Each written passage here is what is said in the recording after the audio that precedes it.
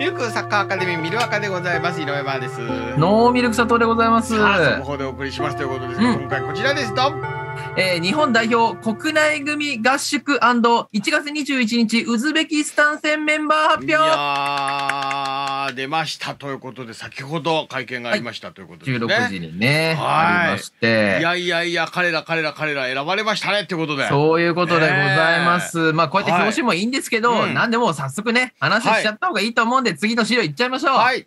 今回選ばれた22名はこの方々です。と、出ました。こんなメンバーとなりました。はいはいはい、はい、うん。まず名前だけはい。お伝えさせていただきます。うんうん。ゴールキーパーは権田さん、谷さん、まあ、はい。いつものメンバーですね。右サイドバック山根さん酒井宏樹さうん、うん。ん。左サイドバック長友さんと佐々木翔さん。はい。ディフェンダー瀬古さん、中谷さん、西尾さん。瀬古西尾のね、えセレッソコンビは A 代表初招集。おめでとう。来ました。ぐっと若返りましたけどもね。ほんとね。はいはいそして、えーあボランチの位置には、えー稲垣翔選手と、あと谷口選手こっちじゃないかなっていうのをちょっとここに配置しておりますと。そしてインサイドハーフ、えー旗手レオ、渡辺幸太、脇坂康として、荒木亮太郎来た来ましたねら新鮮ですねねはいえ。で、前線は、えー武藤義則代表復帰。はいそして、小柏剛選手初招集。うんで、前田大然、相馬勇紀、大迫勇也、上田綾瀬、江坂当たるという面々でございました。なるほどなるほどはいこんな感じになりましたね。えいやー、ーまず何に向けての代表なのかそして海外組がいないのはなぜなのかということですけどねそうですね。はいえー最初冒頭でお話しした通り、はいえーこのメンバーは、えー来月行われます、えー国内組合宿のメンバーとなります。はいはいはいで、その、まあ、ある意味では総仕上げみたいなところで、1月21日に、はいえー親善試合、ウズベキスタン戦というものがあります。うんうんうんそのメンバーでもあるよという形でございはいます。はいはいで、えー今回はそもそももう9月10月の間から、うん。あの、オミクロン株とかうんぬん全く関係なく、はい1月に国内組合宿をやりますと森保さんが言ってたことがただ実現してるだけなので、海外からそりゃ来るわけがあります。はあはあの最終予選っていうのはいつになるんでしたっけ？1月最終予選はその10日後です。あ約。なるほどじゃあ一度この合宿は解散してまた集め直すということその。最終予選のメンバーとは関係ないってことですねこれははい。最終予選のメンバーはまた改めて発表されるわかからりましたなるほど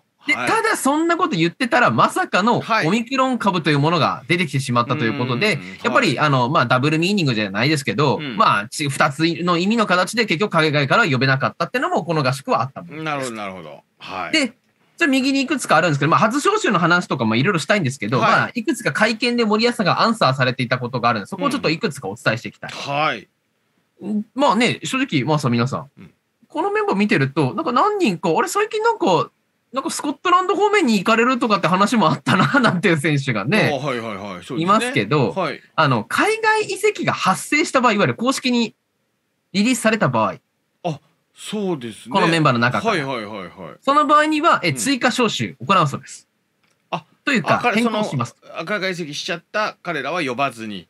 そうです。なんで、はい。まあ、名前言っちゃえば、旗手大前の二人は、だから、僕は合宿いないんじゃないかなと思います。そうですねうん。はいはいはいはい。でその代わりに誰か呼ばれるって形になると。だから、もしかすると、大前の代わりに、例えば、金子拓郎選手とかね、ね畑選手の代わりに立花田選手とかってことはあり得るんじゃないのかなとは思ってます。わかりました。さらに、えっと、はい。この1月の中旬からこの合宿行われるんですけど、はい。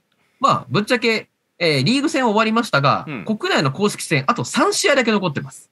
はいはい。いわゆ天皇杯の準決勝とうん。決勝というものがあるのなるほどで、なるほどなんでそこでいわゆる怪我しちゃうって可能性もまあゼロじゃないですね。あまあねはいなんで当然ながら負傷者が出た場合にも、えー変更等々は当然ながらありますよ。なるほどただマックスは22人とのことです。はいっていうのも、これ一番下にちょっと先に、まあ真ん中ちょっと飛ばしちゃうんですが、あの、今回合宿やるっていうのはあるんだけどうん、はいぶっちゃけ親善試合1試合だけなんですよ。まあそうですね。ウズベキスタンだからがやるだけ。そうそう。だから正直それ、その試合でも全員使えるか使えないかじゃないですか。うん。なのに26人とか7人とか呼んでも、うん。この時期はもう、クラブのうん。キャンプも始まるから、ああそうか。と紅白戦ギリギリできる余剰人員が出ない22人をマックスとしましたと。うのん。なるほど。はことでしあた。はあはあとはいえうん。ね最終予選に向けてそのああ本大会に向けてうん。元で見ときたいというのもあるからそういうことですはあはあね。はあはあなんで、今の海外組プラス、このメンバーっていうのが、今のところ次の1月、2月のに行われる最終予選に向けてのラージメンバーであることには変わりなんでないんだろうな。なるほどね。いや、うんよくわかりました。はい。そしてうん、一応念のためですけど、はい。オミクロン株で正直、はいその海外からね、帰ってこれないって話もあるぐらいだから、当然ながら新規入国組になる、あの、ウズベキスタン代表の方々が来れなかった場合、まはい。あ、それも正直存在はしますよね。まあね。可能性として。はい。だその場合は、まあ、シャアなしとのことで。うんまあ、それはそうですね。しゃあなしやらい。ないってこと？やらない可能性はもちろん。ものすごい紅白戦やればいいのにね。まあ、そういうことになるんじゃないですかね、だからね。ね、一応だからベストは集客を入れた上で、集客した上で再スタでやるっていうのが、あの、一番、最高の形。ウズベキスタン戦そうそう。で、それがなければもしかしたら紅白戦とかってことももしかしたら考えていくんじゃないかとなるか、ほどね。うん、あるかもしれません。はい。だからもしかしたらあれじゃないですか。海外組対国内組っていうこともゼロじゃないかもしうれない。ただイングランドとスペインに関しては、あの、リーグ戦の真っ最中のシーズンでまだまだあるのそうかそうでだ、ね。必ずしもそれ実現するかどうかはわからないということでした。はいはい。まあ、ざっくりね、あの、速報ベースで言うとこんな感じでございましたよと。ただまあさん、え皆さん、やっぱりね、やっぱパリ世代ついに入ってきたなってのがえい、や、そうですね。うん荒木亮太郎選手とええ西尾選手、はい。やりましたうんね。これはもちろん海外組を、なんていうの？うん。えー追い越してほしいというかね。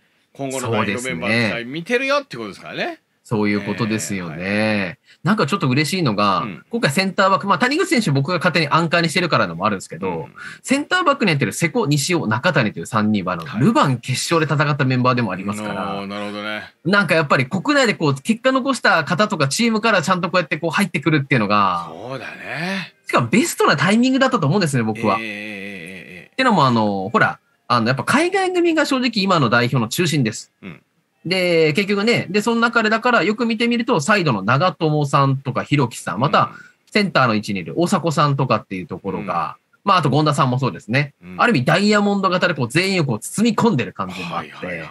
で、そこに先日のね、11月の代表シリーズでついに入ってきた大善さんや綾瀬さん、うん。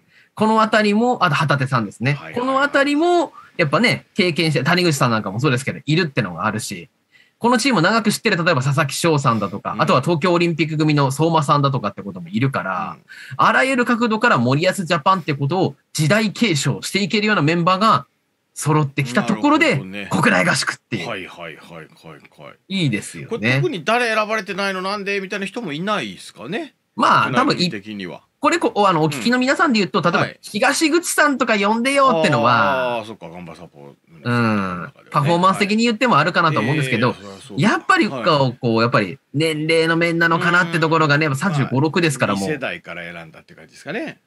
そうですね。うんうんだから基本的にもう、もうベテランの方ってのは、やっぱり森保ジャパンを深く知ってる方じゃないと基本的にはないんだろうなと。んんんで、彼らが、だからあれ見ては、ポジショナル、ポジションコーチ的な感じになって、はい。今のリオ世代、東京世代、パリ世代に継承していくって流れが。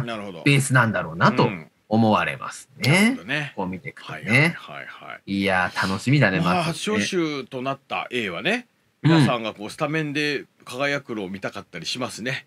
そうですやっぱしね。えーでもさ、もうさ、皆さんと。うんまあ、谷口選手がセンターバックの可能性もあるんだけど、はい正直彼はアンカーもできる人なので考えたら、うんで、今回ね、いわゆるオレンジマークの方、オレンジカラーの方々がボランチということになるんですけど、うんうんボランチ役がこの渡辺康太、稲垣翔、もしくは谷口選手しかいないんで、うん。はい。ちょっと本番でも、ボ2ボランチ体制やらなそうじゃないですか。ああこの人選からもそう見えますか先生ね。そうそうそうそうこいポジションで並べてくれてましたけど。はい。そうなんですよ。はいってことは、はいセコオア、西尾、はい。ウズベキスタン戦でうん。デビュー確実じゃないかと、ここはもうあすごいスタメンデビューですねなるほどね。あり得るんじゃないかと。はあはあはあはあ。あと、もしくは、うんじゃあこの、あ例えば、じゃあ谷口選手が仮はいにセンターバックになりましたってなったとしても、うん左インサイドハーフっていうか、インサイドハーフ4人のうち、はい A 代表経験、A 代表でしっかりちゃんと出たっていうのは脇坂選手だけなので、ってなると、旗手フル代表スタメンデビューなんてね、うんこんなこともあるかもしれま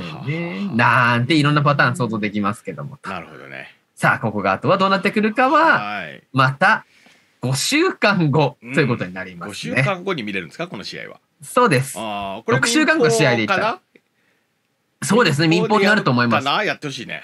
だからあとは頼むから、もう試合できてってそいううのが。